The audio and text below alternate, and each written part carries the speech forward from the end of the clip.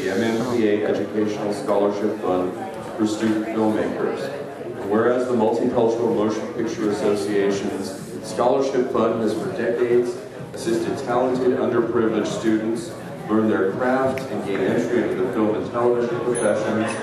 And whereas the Multicultural Motion Picture Association is dedicated to recognizing the achievements and supporting the careers of individuals of various cultural backgrounds in the entertainment industry through their various programs and the annual Diversity Awards,